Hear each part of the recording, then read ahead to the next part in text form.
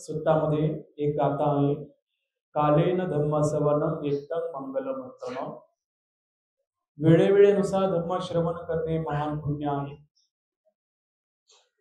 या गाथेचं आपण सर्वजण अनुकरण करत आहोत. धम्म आपण नेहमी श्रद्धायुक्त चित्ताने ग्रहण केला पाहिजे. मनुष्याला धर्माची का गरज आहे? का धर्म माणसाला पाहिजे? जन्माला जेव्हा व्यक्ती येतो तेव्हा त्याला माहिती नसतं धर्म नावाची पण गोष्ट या संसारामध्ये आहे. पण जेव्हा बुद्धीचा विकास होतो वातावरणामध्ये राहायला लागतो तेव्हा त्याच्या कानावरती धर्म नावाचे शब्द पडायला लागतात. जन्मताशिनी त्याला नाव पण माहिती नाही जग पण माहिती नाही धर्म पण माहिती नाही या सगळ्या गोष्टीचा त्याचा काही संबंध नाही. पण ज्या वेळेला बुद्धीचा विकास होतो या संसारातल्या वातावरणामध्ये राहू लागतो तेव्हा त्याच्या कानावरती धर्म शब्द पडतात आणि प्रत्येक समाजाचा व्यक्ती त्याच्या धर्मावरती प्रेम करतो. बघा हिंदू माणूस त्याच्या धर्मावरती प्रेम करतो. मुस्लिम माणूस त्याच्या धर्मावरती प्रेम करतो. ख्रिश्चन माणूस त्याच्या धर्मावरती प्रेम करतो. आणि बौद्ध माणूस त्याच्या धर्मावरती प्रेम करतो. तर सर्वांना आपल्या धर्मावरती प्रेम आहे. आणि प्रत्येकाला असं वाटतं की माझा धर्म सर्वात श्रेष्ठ आहे. माझ्या धर्मापेक्षा दुसरा धर्म श्रेष्ठ नाही. आणि त्या धर्माबद्दल प्रत्येकाचं एक लहानपणापासून आसक्ती बनलेली आहे. एक नातं जुळलेलं आहे. आणि लवकर ते नातं कोणीही व्यक्ती तोडू शकत नाही. एखाद्या व्यक्तीला त्याच्या धर्माच्या विरोधात दोन शब्द जरी आपण काही बोललो त्या व्यक्तीला अपमान वाटतो. जसं आपल्याला आपल्या धर्माबद्दल कोणी काय बोललं तर अपमान वाटतो तसं इतर धर्माच्या लोकांना सुद्धा काय वाटतो? अपमान वाटतो. धर्म प्रत्येकाकडे आहे. पण सत्य धर्म प्रत्येकाला लाभत नाही. सत्य धर्म माणसाला पुण्याने मिळतो. प्रत्येक धर्माची तत्व वेगवेगळी आहेत. कोणी येशूला मानते कोणी देवाला मानते कोणी पेगंबरला मानते. आणि त्यांची त्यांची श्रद्धा आहे. पण धर्माचा अभ्यास करत असताना धर्माच्या सानिध्यात राहत असताना या संपूर्ण जगातल्या लोकांच्या मनात एकच असा विचार आहे की आपल्या सुखाचं कारण आपल्याला सुखी ठेवण्याचं कारण आपण सुखी होण्याचं कारण तो आपला धर्म आहे तो आपला देव आहे. आपण धर्माशी प्रामाणिक राहिलो आणि देवाची भक्ती करत राहिलो त्याचं स्मरण करत राहिलो तर आपलं दुःख नष्ट होऊन जाईल. म्हणजे याचा अर्थ असा आहे की सर्वजण सुख मागत आहेत. त्याचाच अर्थ असा आहे की सर्वजण संसारामध्ये दुःखी आहे जो मनुष्य दुःखी नाही त्याला धर्माची गरजच नाही. जो मनुष्य दुःखी नाही तो देवाकडे जाणारच नाही.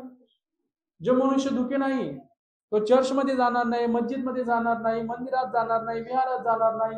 हे लोक या ठिकाणी का जातात? कारण ते दुखी आहेत आणि दुखी माणसाला एका आधाराची गरज पडते. आणि प्रत्येक जण तो आधार शोधण्याचा प्रयत्न करत आहे. पण आधार पण दोन प्रकारचा आहे. संसारामध्ये एक सत्याचा आधार आहे एक असत्याचा आधार आहे. जर सत्याचा आधार जर माणसाने प्राप्त केला तर त्याचं कल्याण होईल. पण सत्याचा आधार आला जर धरून त्याचं जीवन नसेल आणि असत्य गोष्टी पालन करण्यामध्ये तो सत्य मानत असेल आणि असत्य गोष्टीला धर्म मानत असेल आणि ज्या गोष्टी संसारामध्ये नाही त्या गोष्टींना मानून तो जीवन खर्च करत असेल तर त्याचं दुःख कधी नष्ट होऊ शकत नाही. सिद्धार्थ राजकुमार जेव्हा ते गृहस्थ जीवनामध्ये होते सिद्धार्थ गौतम तेव्हा त्यांच्या मनामध्ये पण हा प्रश्न निर्माण झाला होता की संसारामध्ये सर्व सत्व दुःखी आहेत त्या दुःखाला कसं नष्ट केलं जाईल? काहीतरी उपाय असला पाहिजे. प्रत्येक व्यक्ती काही ना काही विधी करतो काही ना काही प्रार्थना करतो आणि त्या केल्यानंतर तो सुखी होईल असा त्याचा एक भ्रम राहतो एक त्याचा विचार असतो. पण सिद्धार्थ गौतमाने या प्रश्नाचं उत्तर शोधून काढण्यासाठी वयाच्या एकोणतीसाव्या वर्षी गृहत्याग केला पण गृहत्याग केल्याबरोबर त्यांना त्या प्रश्नाचं उत्तर लगेच नाही मिळालं. तर संसारामध्ये सर्व लोक ज्या ज्या गोष्टीला मानतात मोक्ष प्राप्त करण्यासाठी त्या त्या गोष्टींकडे ते आकर्षित झाले. आणि त्यांनी विचार केला हे जे ऋषी लोक आहेत ना हे जे धर्मगुरू आहेत ना यांचं जीवन कशामध्ये चाललं?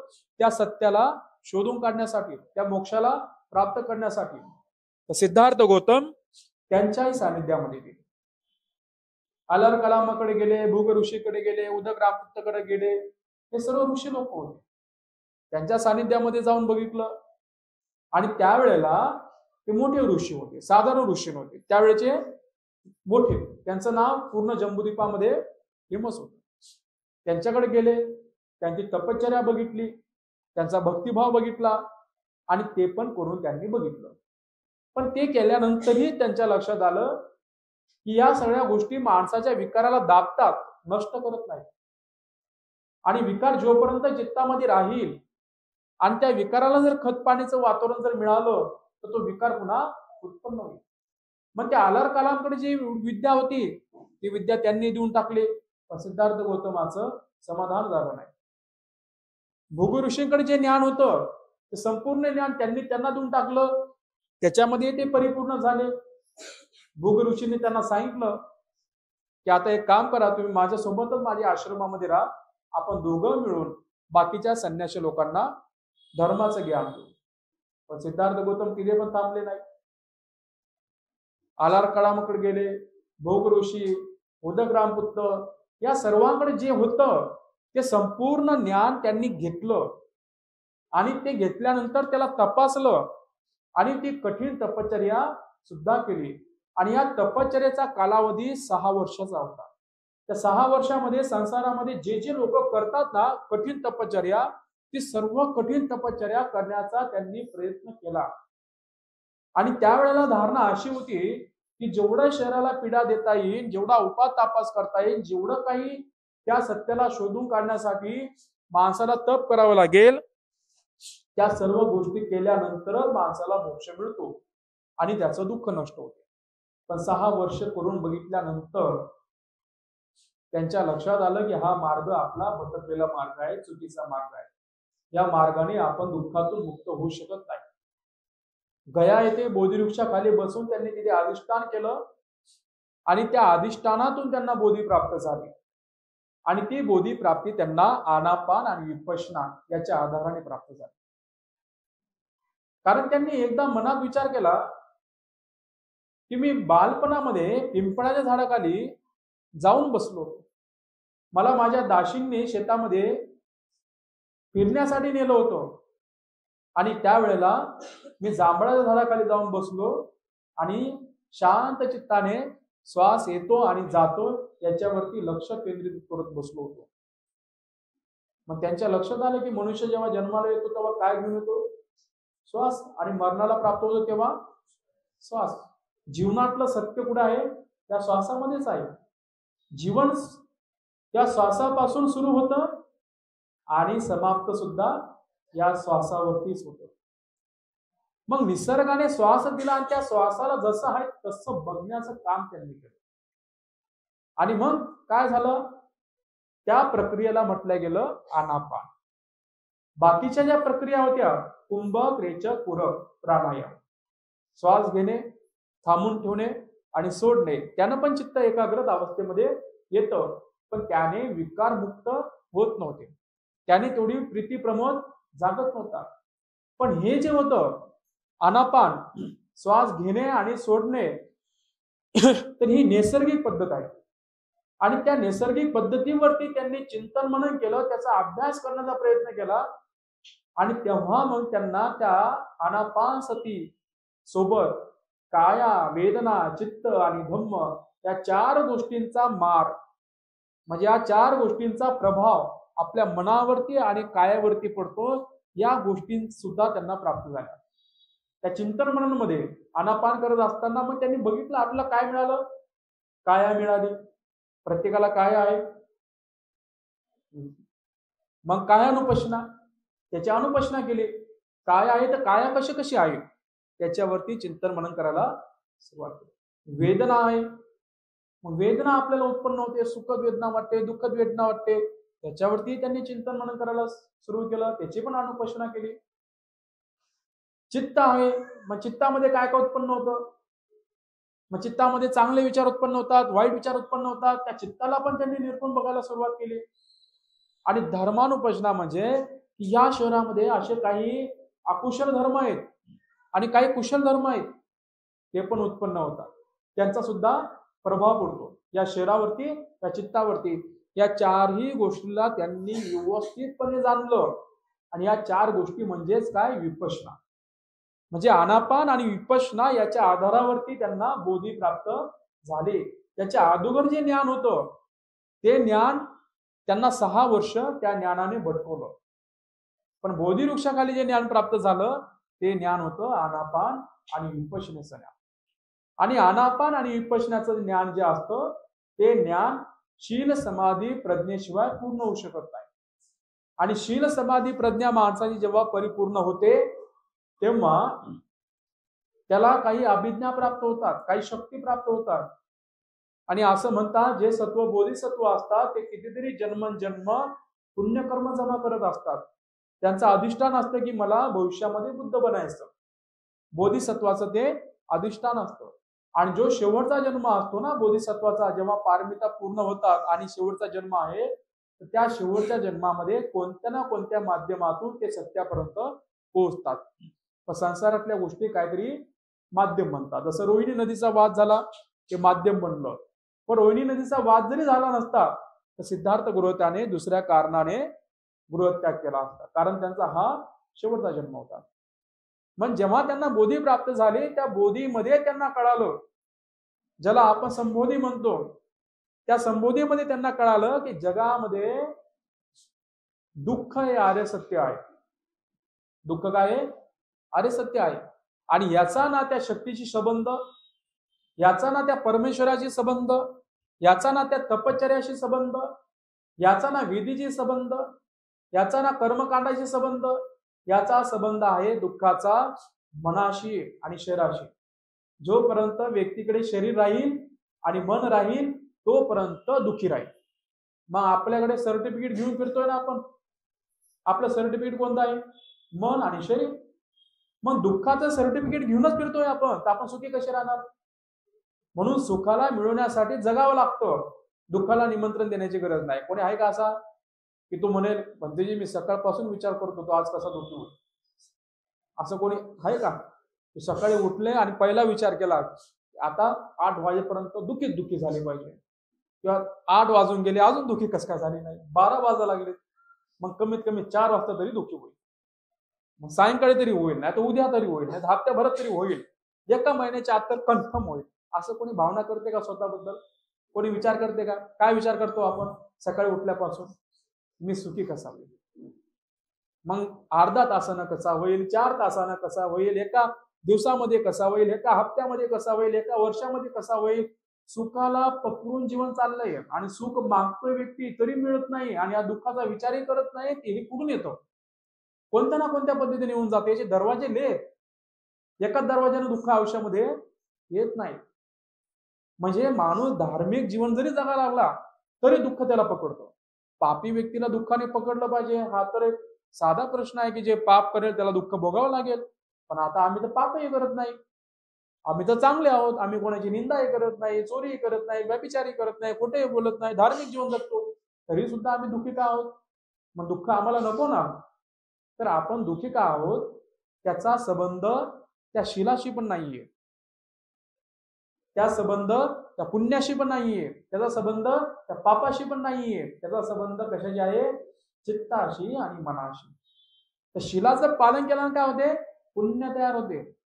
आणि पुण्य तुमचं सुखाचं माध्यम होऊ शकते.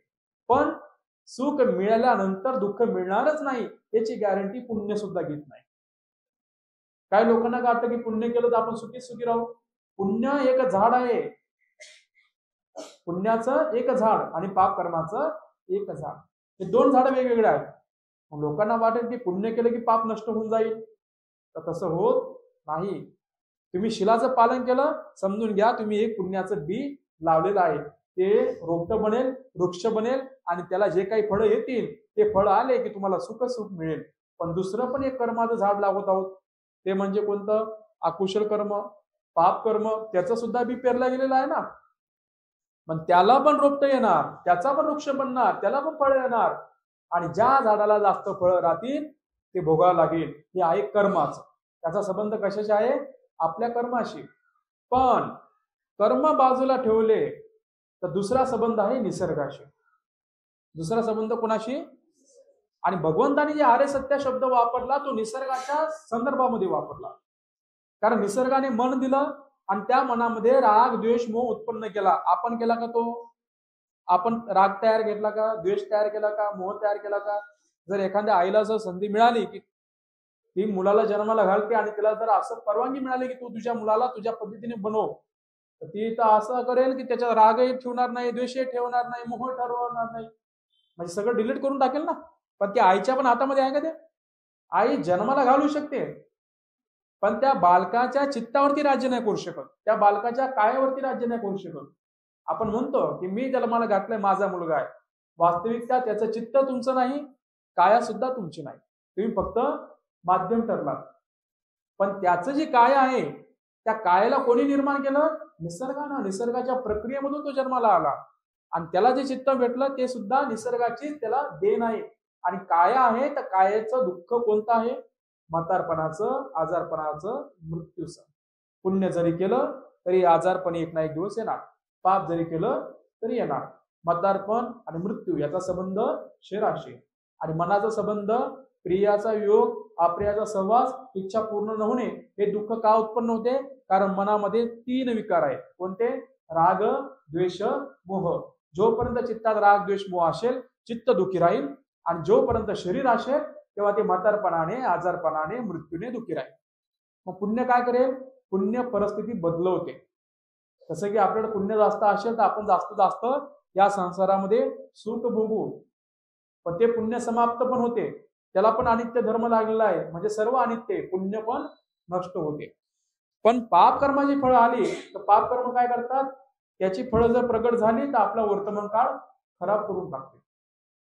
आणि वर्तमान काळ खराब झाला तर कर्माचंही दुःख भोगायचं आणि निसर्गाचंही दुःख भोगायचं. पण पुण्यवान व्यक्ती काय करतो? कर्माला शुद्ध करतो पण निसर्गाच्या दुःखामध्ये तो पण आटकतो तर मग भगवान बुद्धांनी सांगितलं की हे जे दुःख आहे या दुःखाला नष्ट करण्याचा मार्ग त्यांनी शोधला. तो मार्ग असा आहे की तिथे निर्वाण अवस्था आहे. त्या निर्वाण अवस्थेला एकदा व्यक्ती गेला तर काय होतं? मन राहतं पण मनात विकार राहत नाहीत. रागातून द्वेषातून मोहातून मुक्त होतो. शरीर तर राहतं. शरीर म्हातार होतं. शरीर आजारी पडतं. शरीर मरणालाय प्राप्त होतं. पण म्हातारपणाचं दुःख होत नाही. आजारपणाचं दुःख होत नाही. मृत्यूचं दुःख होत नाही. का? कारण निर्वाण अवस्था म्हणजे त्या चित्तातून मुक्त होण्याची अवस्था आणि कायाच्या नियमातून मुक्त होण्याची अवस्था. म्हणजे निसर्गाला चॅलेंज करणं आहे. म्हणजे निसर्गाने ज्या गोष्टी निर्माण केल्या निसर्गाने ज्या गोष्टीला बांधून ठेवलं निर्वाण अवस्थेला एकदा व्यक्ती प्राप्त झाला तर तो चित्तातून आणि कायातून दोन्ही ठिकाणातून स्वतःला मुक्त करू शकतो. आणि जो चित्त आणि कायातून मुक्त झाला तिथे कर्म विपाक लागू होत नाही. संसाराचे नियम सुद्धा लागू होत नाही. पण तिथं जाण्यासाठी एक मार्ग सांगितला. तो आहे शील समाधी प्रज्ञेचा मार्ग. पण त्या शील समाधी मार्गाने जाण्यासाठी पण एक अजून सांगितलं पुण्यधर्म. मग ते पुण्यधर्म कोणते आहेत? दान श्रद्धा शील समाधी ही प्रज्ञा हे पाच पुण्यधर्म. तो मध्यम मार्ग आहे. त्या मार्गाने गेला शील समाधी प्रज्ञेच्या मार्गाने गेला तर तो निर्वाण अवस्थेला पोहोचू शकतो. आणि एकदा काय व्यक्ती निर्वाण अवस्थे अवस्थेला पोहोचला किंवा त्या निर्वाण शब्दाला पकडून जे आर्यफळ सांगितलं जातात त्या आर्यफळामध्ये प्रवेश केला तेव्हा त्याचं दुःख कमी व्हायला सुरुवात होते. आणि जोपर्यंत आर्यफळामध्ये प्रवेश करत नाही आर्यफळ कोणते आहेत श्रोतापन्न सकोदागामी अनागामी आरंत पच्चक बुद्ध सम्यक संबुद्ध. ही नावं नाही ही अवस्था आहे. म्हणजे साधनेमधून त्या अवस्थेला गेला तर त्या अवस्थेला ते नाव दिलं. ज्याचे तीन संयोजन नष्ट झाले त्याला श्रोतापन्न म्हटलं गेलं. ज्याचे तीन नष्ट झाले दोन कमजोर पडलेत असे पाच संयोजन असतील त्याला सकुदागामी म्हटलं गेलं. त्याचे पाच संयोजन नष्ट झालेत त्याला अनागामी म्हटलं गेलं. आणि ज्याचे दहा संयोजन नष्ट होतात त्याला अरंत म्हटलं जातं. आणि हे जे संयोजन म्हणजे अडथळे हे संयोजन म्हणजे संसाराला बांधून ठेवणारे विकार अज्ञान आणि हे नष्ट केलं साधनेमधून तेव्हा ते आर्यफळ प्राप्त होतात. आणि आर्यफळ हे जरी प्राप्त झालं तेव्हा सुखाची भाषा समजायला लागते. जोपर्यंत आर्यफळात नाही तोपर्यंत त्याच्या वाटेला जे सुख येतं तर ते सुख तृष्णेचं आहे ते सुख आसक्तीचं आहे. आणि आसक्तीचं सुख किती जरी माणसाला मिळालं शेवटी ते दुःख देणार. तृष्णेचं सुख किती जरी आपल्याला मिळालं तरी दुःख देणार. आपल्याला जर विचारलं तुम्हाला सुख पाहिजे? नेमकं काय पाहिजे? काय इच्छा आहे? सुख म्हणजे नेमकं काय? तर आपण संसारातल्या वस्तूच मागणार ना. काय मागणार आपण? चांगल्या मुलाला नोकरी मिळावी म्हणजे मी सुखी होईल. चांगली सून प्राप्त व्हावी म्हणजे मी सुखी होईल. छोटं घर आहे तर चांगलं मोठं घर बांधता आलं तर मी सुखी होईल. किंवा गाडी घेता आली तर मी सुखी होईल. शेती घेता आली तर मी सुखी होईल. दागदागिने घेता आले तर मी सुखी होईल. हे सुखाचं माध्यम आहे ना? याला तर सुख मानता ना आपण संसारातले लोक. मग आपल्याला जर विचारलं सुख पाहिजे म्हणजे काय? तर हे सर्व गोष्टी आपण मागतो. जे संसारामध्ये आपल्याकडे नाही. आणि त्या संसारातल्या गोष्टी आपल्याला परिपूर्ण मिळाल्या तर आपण परिपूर्ण होऊ सुखी होऊ. आणि त्याकरता आपण संसारातल्या या सर्व गोष्टी कशा मिळवता येईल कमवता येईल याच्याकरता प्रयत्न करतो आणि ते प्रयत्न करणं चुकीचं पण नाहीये. ते केलं पण पाहिजे. जेवढं माणसाला धन कमवता येईल जेवढं माणसाला पद कमवता येईल जेवढं माणसाला वस्तू कमवता येईल त्या सर्व त्याने कमवल्या पाहिजेत. पण तो हे विसरून जातो की या सगळ्या गोष्टी जीवन जगण्याचं माध्यम आहे जीवन नाहीये. आणि त्या वस्तूला जर जीवन बनवलं आणि सुखाचा आकार जर त्या वस्तूला ठरवला गेला तर माणसाच्या वाटेला शेवटी दुःख येतं. धन कशा करता आहे? त्या जीवनाला पूर्ण करण्यासाठी. पण धन जीवन नाहीये. तर काही लोक ते विसरून गेले आणि धनासाठी जीवन जगू लागले. मग घर जीवन जगण्यासाठी आहे. ऋतूपासून स्वतःला वाचवण्यासाठी आहे. हिवाळा पावसाळा उन्हाळा ऋतूनुसार माणसाला कुठेतरी सुरक्षित राहता आलं पाहिजे. पण काही लोक फक्त घर कमवण्याच्या नांदामध्ये सगळं आयुष्य खर्च करतात. जीवन जगाचं विसरून जातात आणि सगळ्या आयुष्याची कमाई एक घर निर्माण करतात आणि मग विचार करतात आता आपण सुखी होऊ. म्हणजे म्हातारपणामध्ये कोण कुणाकुणाचं घर निर्माण होतं. आणि ते चांगलं पण आहे पण घर हे माध्यम आहे जगण्यासाठी. जीवन नाहीये. दागिने हे माध्यम आहे. मान सन्मान हे माध्यम आहे. जीवन नाही तर जीवन काय? जीवन धम्म आहे. धम्म कमवण्याचं लोक विसरून गेले. धर्म लोक कमवत नाही लोक. लोकांची मानसिकता अशी बनली की धर्म कधी पाहिजे माणसाला? म्हातारपणा आता काय आता तरुण आहोत आता कामधंदे करा आता जेवढं काही संसारातल्या वस्तू कमवता येईल कमवा. सगळं भोग घ्या. आणि मग वयस्कर अवस्था आली म्हातारपण आलं तेव्हा धर्माच्या मार्गाने लागायचं. पण तसं नाही धर्म माणसाला रोज पाहिजे. जसं तुम्हाला शरीराला रोज अन्न द्यावं लागतं. जर अन्न नाही दिलं शरीर तीन चार दिवसामध्ये बिमार पडते. तीन चार दिवस तुम्ही अन्न खाऊ नका तर काय होणार? शरीर कमजोर पडेल. शरीरात बल राहणार नाही. आणि मृत्यूचं कारण सुद्धा तो आहार बनू शकतो. मग बुद्धीचा काय? बुद्धीला सुद्धा आहार पाहिजे. पण बुद्धीचा आहार कोणता? हे माहिती नाही. कशा पद्धतीने आहार द्यायचा? ही माहिती नाही. आणि लोक बुद्धीचा आहार देत नाहीत आणि कितीतरी वर्षापासून माणसाचं मन बिमार पडलेलं आहे. आपल्या मनात डोकवून बघा बरं का काय दिसेल तुम्हाला? रागच राग दिसेल द्वेषच द्वेष दिसेल मोहच मोह दिसेल वासनात वासना दिसेल क्लेशच क्लेश दिसेल आपल्या चित्तामध्ये प्रसन्नता आहे का? प्रामाणिकपणे सांगावर का डोळे बंद करून? लय प्रसन्नता वाटायला लागली मनामध्ये. की असं वाटेल सगळ्यांचं कल्याणच कल्याण व्हावं शेजारीचं कल्याण व्हावं दुसरीचंही कल्याण व्हावं त्यावर बाबा जे दिसेल त्याचं कल्याण व्हावं शत्रूचं कल्याण व्हावं असे काय डोक्यामध्ये विचार आहेत का? काय विचार आहेत? तो आमका असा असा का बोलला होता? त्याच्यामुळं माझं नुकसान झालं. हे लोक माझ्या मनासारखे वागत नाही अजून मला हेच काही करता आलं नाही हे कधी करता येईल? म्हणजे सगळं विचार कसे आहेत? रागाचे द्वेषाचे मोहाचे. आणि त्याच्यामुळं मन जास्त वेळ दुखी राहतं. म्हातारपण याला वेळ आहे. आजारपण याला वेळ आहे. मृत्यू याला वेळ आहे. पण आजारही नाही म्हाताराही नाही मरणाला प्राप्त नाही. तरी पण दुखी का आहे? कारण चित्ताला आहार कसं द्यावं ही माहिती नाही. आणि चित्ताला आहार न दिल्यामुळे चित्त बिमार पडलेलं आहे. आणि म्हणून सर्वांचं चित्त कसं आहे? बिमार आहे. आपण म्हणतो मला राग येतो मला चिंता वाटते मला हे मला तसं असं असं वाटते. हे सगळे चित्ताच्या बिमाऱ्या आहेत. आणि त्या सर्व बिमारीचं एकच औषध म्हणजे काय? धम्म. तर धम्म शोधून काढला भगवंताने. आणि भगवंत म्हणतात की भिक्षूंनो एकच मार्ग आहे तो म्हणजे मध्यम मार्ग. त्या मार्गाच्या आधारानेच व्यक्ती सुखी होऊ शकतो. दुसरा मार्ग नाहीये. दुसरा मार्ग जर असता सिद्धार्थ गौतमाने गृहत्याग केला नसता. सिद्धार्थ गौतमाने जे त्यागलं ते कमवण्यामध्ये आपलं आयुष्य झालं तसं त्यांनी घर त्यागलं म्हणजे राजमहल त्यागले. उन्हाळ्यासाठी वेगळा पावसाळ्यासाठी वेगळा हिवाळ्यासाठी वेगळा ऋतूनुसार त्यांच्या पित्याने महाल बनवले होते ना ते त्यागलं. मग आपलं संपूर्ण आयुष्य जरी खर्च केलं तर आपण कमवून कमवून तीन महाल बनवू का? आणि बनवले पण. तीन महाल तुमच्याकडे असले बी. आणि तीन महाल खरंच तुम्हाला सुखाचं कारण जर असू शकतात ठरू शकतात ते जर सुखाचं कारण जर असतं तर मग सिद्धार्थ गौतमानं का त्यागलं असतं? त्यांनी त्यागलं म्हणजे त्याच्यामध्ये सुख नाहीये. त्याच्यामध्ये सुख नाहीये. पण याचा अर्थ असा नाही की आपण घरं नाही बांधायची आपण मोठी स्वप्न नाही बघायची म्हणजे नकारात्मक विचार नाहीये. ती गोष्ट कमवायची पण ती गोष्ट माझ्या जीवनाला पूर्ण करेल हा भाव डोक्यातून काढून टाकायचा. सिद्धार्थ गौतमाला माहीत होते की हे सर्व असणं महत्वाचं आहे पण हे जीवनाला पूर्ण नाही करू शकत दुःखाला नष्ट नाही करू शकत म्हणून त्यांना ते सोडावं लागलं.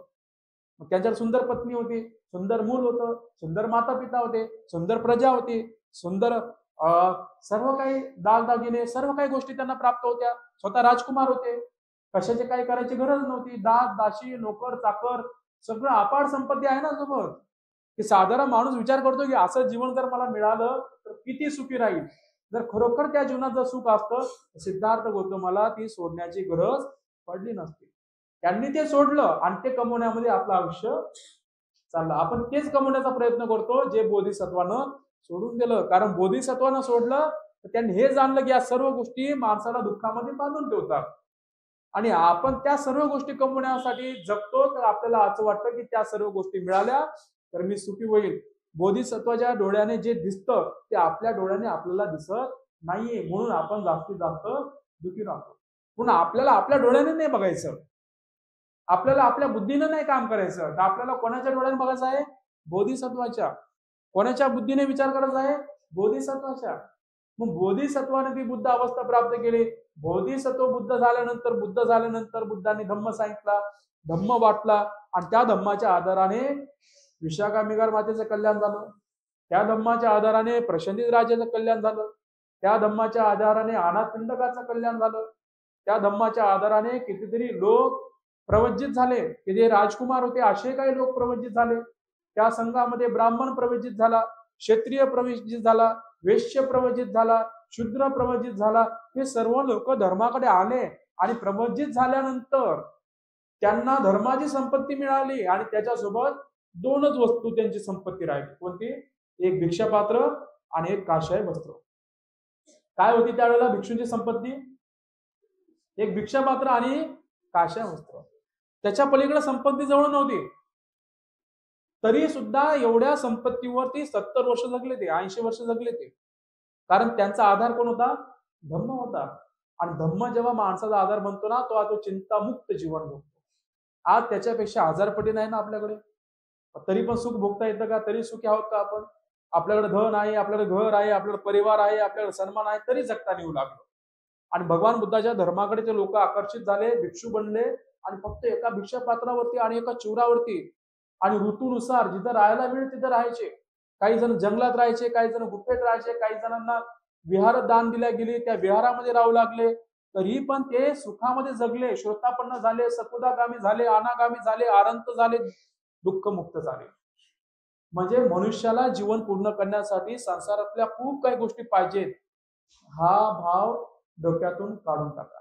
संसाराला पूर्ण करण्यासाठी सुखी राहण्यासाठी माणसाकडे फक्त धर्म पाहिजे तो कमी जरी असला चालते पण तो योग्य पाहिजे. ज्ञान समुद्र एवढं पाहिजे असं काही नाहीये. तुम्हाला जर धर्माचा प्रचार करायचा असेल तुम्हाला प्रज्ञा पारमिता वाढवायचा असेल तर मग तुम्हाला खूप ज्ञान जमा करावं लागतं. पण तुम्हाला सुखी राहायचं असेल ना तर तुम्हाला समुद्र एवढं ज्ञान घेण्याची गरज नाहीये. तुम्हाला फक्त काय करावं लागेल? जे तुमच्याकडे ज्ञान आहे त्या ज्ञानाला आचरणामध्ये आणावं लागेल. आज ज्ञान तर आलं आपल्याकडे पण ते ज्ञान कसं आलं? विकारयुक्त विकारमुक्त नाही ज्ञान आपल्याकडे. आपलं ज्ञान काय करतं? वादविवाद निर्माण करतं. आपलं ज्ञान काय करतं? एकमेकांना कोण वरिष्ठ आहे ज्ञानामध्ये कोण कनिष्ठ आहे ज्ञानामध्ये तिथं सिद्ध करण्यासाठी ते ज्ञान वापरलं जातं ते ज्ञान वादविवादासाठी ते चर्चासाठी पण ते दुसऱ्याच्या कल्याणासाठी ते ज्ञान उपयुक्त ठरत नाही. का? कारण ज्ञान तर आहे पण त्या ज्ञानाला विकार जोडलेला आहे. आज एखादा व्यक्ती जर ज्ञान सांगत असेल तर त्याला भाव उत्पन्न होतो. की माझ्यासारखा दुसरा कोणीच सांगू शकत नाही. मला एकट्याला धर्म कळाला. बाकी सगळे लोक येडे आहेत. बाकी सगळे लोक अडाणी आहेत. त्यांना काहीच कळतच नाही. म्हणजे काय झालं? ज्ञान तर आलं. पण त्या ज्ञानाला विकार जोडले. तर ज्ञान पाहिजे पण कसं पाहिजे? विकारमुक्त पाहिजे. ज्ञान देवदत्ताकडे पण तेच होतं. जे बुद्धांनी प्राप्त केलं. देवदत्त पण भिक्षूंना काय सांगायचा? बाकीच्या लोकांना चार अडसत्य सांगायचा. पण त्या देवदत्तामध्ये विकार असल्यामुळे त्याच्याकडलं ज्ञान विकारयुक्त होतं. म्हणून त्याला दुर्गतीला जावं लागलं. आणि भगवान बुद्धांनी पण लोकांना चार अडसत्ती शिकवले. पण भगवान बुद्धाकडे जे ज्ञान होतं ते कसं होतं? विकारमुक्त होतं. जर तुमच्याकडे ज्ञान असेल आणि त्या ज्ञानासोबत शील समाधी प्रज्ञा जर असेल तर तुमच्याकडे विकार मुक्त ज्ञान आहे. आणि ते ज्ञान अमृतचं काम करेल.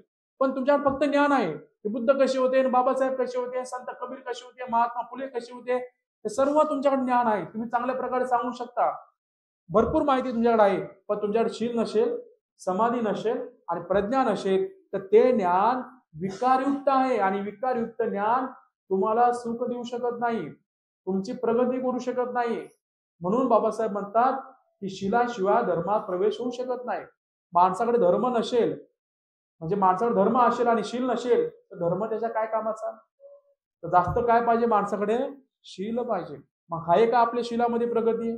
आहे का आपल्या साधनामध्ये प्रगती? आहे का प्रज्ञेमध्ये प्रगती? शील समाधी साधण्यात प्रगती नाही. मग आपण म्हणतो आपण तर बुद्धाला मानतो देव धर्म सोडले. अरे देवधर्म सोडले म्हणजे जीवनातून मुक्त बसाल असं काय भगवंताने सांगितलं नाही आपल्याला? लोकांना असं वाटतं की देवधर्म सोडले म्हणजे आता मी भगवंताला मानायला लागलो म्हणजे दुःखातून मुक्त होऊन जाईल म्हणजे झालं आता एवढं. नाही. देवधर्म सोडले म्हणजे आज्ञान सोडलं. पण आज्ञान सोडल्यानंतर सत्याचं स्वीकारावं लागेल. आणि सत्य स्वीकारल्यानंतर आचरण करावं लागेल. आपण आज्ञान तर सोडलं सत्य तर ऐकलं सत्याचं स्वीकारलं पण सत्य आचरणामध्ये आणलेलं नाहीये. त्याच्यामुळे आपल्याला लाभ होत नाहीये. मग आपण म्हणतो बुद्धाला मानतो धर्माला मानतो संघाला मानतो अधूनमधून दानही करतो तरीही सुखी का होऊ लागलो नाही? तर चित्तामध्ये तपासून बघा ना. भगवंताने सरळ सरळ भिक्षूंना सांगितलं भिक्षूंनो हा धम्म तुमचा आधार आहे. हा धम्म तुम्हाला दुःखातून मुक्त करेल. मग धम्म हे औषध आहे. मग तुम्ही औषध ग्रहण केले का? जर बिमार माणसाने औषधच ग्रहण केली नाही तर बिमारीतून कसा मुक्त होईल? मग धम्म नावाचे औषध आपल्यामध्ये आहे का? आपण ग्रहण करतो का? मग आपल्याकडे शील नाही समाधी नाही प्रज्ञा नाही मग सुख येईल कसं? कारण आपल्याला धर्मातलं सुख पाहिजे तृष्णेतलं सुख नाही पाहिजे. तृष्णेतलं सुख म्हणजे काम इंद्रियाचं सुख म्हणजे गाडी घेतली की सुख मिळतं. पण असं एक उदाहरण आहे का? तो म्हणेल मी गाडी घेतली पंधरा वर्षापासून सुखीच सुखी आहे बघा. माणूस खूप कष्ट करतो पंधरा वीस लाखाची गाडी घेतली एका माणसाने. मग आता तो काय करतो? सकाळी उठला की गाडीला एकदा जाऊन बघतो. जेव्हा गाडी नवीन असते मग दोन वेळा गाडी पाशी जातो तीन वेळा जातो बघतो गाडीला माझी गाडी माझी गाडी माझी गाडी. एका हप्त्यानंतर गाडीतलं प्रेम कमी होतं का नाही? एका महिन्यानंतर एका वर्षानंतर. आणि हे वेळ अशी येतो की त्या गाडीकडे बघत आहे तो जाऊ दे म्हणतो आता काय ते कोण बघत राहील? मग ती सुख देते का गाडी? मग असं काही उदाहरण आहे का? की तुम्ही सांगू शकता की ही वस्तू माझ्याकडे आहे आणि तेव्हापासून मी सुखी सुखी आहे. तर असं कोणतंच उदाहरण माणसाकडे नाहीये. म्हणून संसारातल्या वस्तू आपल्याला परिपूर्ण सुख नाही देऊ शकत. पण धर्म आहे ना. त्या धर्म अनाथ पिंडकाला भेटला तर सुखी सुखी झाला. कारण त्या धर्माच्या आधाराने अनाथ पिंडकाला दान करता आलं. त्याला शिलाचं पालन करता आलं. त्याला श्रद्धा पूर्ण करता आली. त्याला साधना पूर्ण करता आली. त्याला प्रज्ञा पूर्ण करता आली. म्हणून आपल्याला जर सुखी व्हायचं असेल ना तर खूप साधा आणि सरळ सोपा सिद्धांत आहे. फक्त श्रद्धा ठेवा बुद्ध धम्म संघावरती आणि शिलाचं व्यवस्थित पालन करा समाधीचा अभ्यास करा आणि प्रज्ञा विकसित करा. आणि जेही ज्ञान तुमच्याकडे येतं ते ज्ञान विकारमुक्त ठेवा. त्या ज्ञानातून अहंकार निर्माण करू नका. जर ज्ञानाला अहंकार जर जोडला गेला तर ते ज्ञान खारट पाण्यासारखं आहे. समुद्रामध्ये किती जरी पाणी असेल पण ते खारट पाणी पिण्याच्या काही लायकीचं नाही आणि म्हणून ज्याच्याकडे ज्ञान आहे पण ते अहंकार जोडलेला असेल तर ते ज्ञान खारट पाण्यासारखं आहे त्याचं कल्याण करू शकत म्हणून बुद्ध म्हणतात मी मार्गदाता आहे मोक्षदाता नाही मग आता आपण बुद्धाची वंदना करणार आणि म्हणणार की वंदना झाल्याबरोबर आता भगवंताची वंदना केली भगवंत सुख सुख देतील. भगवंताने अगोदर सांगून ठेवलं बाबा मी काही मार्गदाता आहे मोक्षदाता नाही मग तुम्ही वंदना काय घेता? ती बुद्धानुसती आहे. कारण बुद्धाचं स्मरण केलं की बुद्ध आठवतील. बुद्ध आठवले तर बुद्धाने काय काय सांगितलं ते आठवेल. भगवान बुद्धाच्या आधाराने कसे लोक जगले ते आठवेल. मग बुद्धानुसती होईल धम्मानुसती होईल संघानुसती होईल. मग ते तत्व माझ्या जीवनामध्ये उतरवल्या जातील. मग त्याकरता आपण नेहमी नेहमी गाथा घेतो. त्याकरता नेहमी नेहमी परित्राण पाठ घेतो. त्याकरता नेहमी नेहमी पुष्प वगैरे वाहतो का? कारण बुद्ध धम्म संघ हे तीन रत्न आहेत. हे तीन रत्न ज्या माणसाकडे असतात तो धार्मिक बनतो. आणि या तीन रत्नाच्या आधाराने त्याला धर्म समजा लागतो. आणि धर्म समजला की धर्म जीवनात उतरतो. आणि जीवनात धर्म उतरला की धर्म मग अमृत बनतो. अत्त दीप भव स्वयंप्रकाशित व्हा. दुसरा मार्ग नाहीये. तुमच्या दुःखाचं कारण तुम्ही आहात आणि सुखाचंही कारण तुम्ही आहात. संसारामध्ये कोणीही कोणत्या व्यक्तीला दुःख देऊ शकत नाही. आणि कोणीही कोणत्या व्यक्तीला सुखही परिपूर्ण देऊ शकत नाही. आपण म्हणतो याच्यामुळे दुःख झालं. वास्तविकता दुःख कोणामुळे उत्पन्न झालं? आपल्या चित्तातल्या रागामुळे द्वेषामुळे मोहामुळे. माध्यम तो ठरला पण चित्तामध्ये विकार आहे ना. तर चित्तात विकारच राहिला नाही. तर कोणती वास्तू किंवा कोणती वस्तू किंवा कोणती व्यक्ती दुःखाचं कारणही ठरणार नाही. आपण काय केलं? व्यक्तीला माध्यम ठेवलं. पण सुख कुठं आहे? चित्तामध्ये. माध्यम बनवलं व्यक्तीला. या व्यक्तीमुळे मी आनंदी आहे. वास्तविकता व्यक्तीमुळे आनंदी पण नाही आणि व्यक्तीमुळे दुःखी पण नाही. दुःखी आहे कशामुळे? तुमच्या चित्तामध्ये. कारण चित्तामध्ये वेदना आहे. आणि ती वेदना कोणत्या ना कोणत्या वस्तूला माध्यम बनवते. म्हणून संसारातले लोक संसाराला माध्यम बनवतात आणि धार्मिक लोक धर्माला माध्यम बनवतात. मग ज्यांनी धर्माला माध्यम बनवलं त्यांच्या पदरामध्ये सुख येतं. ज्यांनी संसाराला माध्यम बनवलं त्यांच्या पदरामध्ये दुःख येतं. पण संसारामधली तृष्णा माणसाला काही वेळ सुख देते. असं नाही की संसारातल्या वस्तू दुःख देतात सुख देतात. पण त्यांचा शेवट शेवटी दुःखातच होतो. पण धम्मा अमृत एकदा मिळालं कधी मिळते परिपूर्ण? आर्यफळामध्ये प्रवेश केला की त्याच्या वाटेला दुःख येत नाही. आणि धार्मिक माणसाच्या वाटेला दुःख जरी आलं तर ते कोणतं असतं? ते शारीरिक असतं मानसिक नसतं. शारीरिक दुःख कोणतं? भगवंताला पण शारीरिक दुःख होतं. भगवंत पण आजारी पडले. भगवंत पण म्हातारपणाला अवस्थेला प्राप्त झाले. आणि त्यांचा पण मृत्यू झाला. शारीरिक पीडा निर्माण झाली. पण शारीरिक पिढ्याचा मनावरती काहीही प्रभाव पडला नाही. म्हातारपण आलं पण भगवंत म्हातारपणातून मुक्त होते. आजारपण आलं पण भगवान आजारपणातून मुक्त होते. आणि मृत्यूही आला तर भगवान मृत्यूतूनही मुक्त होते. म्हणून त्यांच्यासाठी काया दुःखाचं कारण ठरलं नाही. म्हणून पुण्य केलं तर आपण निसर्गाचे नियम बदलून टाकू असं होत नाही. कधी कधी पुण्याने माणसाला चांगलं आयुष्य मिळते पुण्याने सुख मिळतं पुण्याने सुगती मिळते. पण फक्त फक्त पुण्यच केलं आणि धर्माचं पालन नाही केलं तर मुक्ती मिळणार नाही. तर काय काय लोक काय करतात? फक्त पुण्यच करत राहतात. पण धर्माचा अभ्यास नाही करत. काय काय लोकांना छंद असतो आनंद वाटतो दान देण्यामध्ये दुसऱ्याला मदत करण्यामध्ये. मग पुण्याचा गुण त्यांच्यात आहे ना. मग ते पुण्य त्यांच्या वाटेला आलं सुख तर देईल. पण त्या पुण्यासोबत योग्य धर्म पण जोडावा लागेल ना. मग काही लोक शिलाचं नाही पालन करत साधनेचंही पालन करत नाही प्रज्ञेचंही पालन करत नाहीत. फक्त दानच देत राहतात. दुसऱ्याला मदतच करत राहतात. चांगला गुण आहे श्रेष्ठ गुण आहे. पण ते पुण्यकर्म पण समाप्त होईल. त्या पुण्यकर्मानं संसारातल्या वस्तू मिळेल. त्या पुण्यकर्मानं सुख मिळेल. त्या पुण्यकर्माने इच्छा आकांक्षा पूर्ण होईल. पण ते पुण्यकर्म दुःख अनित्य अनात्म हा निसर्गाचा नियम सिद्धांत बदलू शकत नाही नष्ट करू शकत नाही. म्हणून पुण्यकर्मासोबत काय जोडलं पाहिजे? धम्म. जर पुण्य आणि धम्म या दोन्ही गोष्टी एकमेकांना जोडल्या गेल्या तर ते पुण्यकर्म जे तयार होतं ते पुण्यकर्म सांसारिक वस्तू प्राप्त करण्यासाठी नाही तर ते पुण्यकर्म धर्म बल प्राप्त व्हावं त्याच्याकरता खर्च केला जातो. मग त्या पुण्यकर्माच्या बलाने मनुष्य श्रोतापन्न अवस्थेला प्राप्त होतो सकुदागामी अवस्थेला प्राप्त होतो अनागामी अवस्थेला प्राप्त होतो आरंत अवस्थेला प्राप्त होतो. म्हणून आपल्याकडलं पुण्यकर्म जर धर्माला जोडलं आणि आचरण जर केलं तर दुःख मुक्तीच्या मार्गाकडे जाऊ आणि आपण जर पुण्यकर्म संसाराला जोडलं तर संसारातल्या सगळ्या वस्तू मिळतील. त्या काही दिवस भोगायच्या त्याच्यामध्ये काही दिवस आनंद मानायचा आणि सगळ्या शेवटी दुःख अरे सत्य आपल्याला संसारामध्ये पकडणार. बारा गड्या आहेत दुःखाच्या. जन्म मतार्पण आजारपण मृत्यू प्रियाचा वियोग आपल्या संवाद इच्छा पूर्ण होणे हे दुःख गरीबाला पण आहे हे दुःख राजाला पण आहे. पुण्याने तर राजा जर झालात तुम्ही. समजा पुण्य एवढं बलवान आहे की राजा झालात. पण तिथे पण जन्म म्हातारपण आजारपण मृत्यू प्रियाचा वियोग अप्रिया सवाल इच्छा पूर्ण होणे हे नियम लागू आहेत ना? राजा प्रिय लोकांना आयुष्यभर सोबत ठेवू शकतो का? प्रिय लोकांचा मृत्यू थांबवू शकतो का? प्रिय लोकांना बिमारीतून मुक्त करू शकतो का? नाही. त्यांना धन देऊ शकतो त्यांना मान देऊ शकतो त्यांना पद देऊ शकतो पण निसर्गाच्या नियमातून तो नाही मुक्त करू शकत. म्हणजे तिथेही गेलं तर शेवटी काय? दुःख आहे. आणि गरिबाला दुःख आहे. परिस्थितीचं पण दुःख आणि निसर्गाचं दुःख. राजाकडे परिस्थितीचं दुःख नाही पण निसर्गाचं दुःख तो शेवटी भोगत आहे. मग कोणतं सुख पाहिजे तुम्हाला? काही क्षणा करता की नेहमी करता?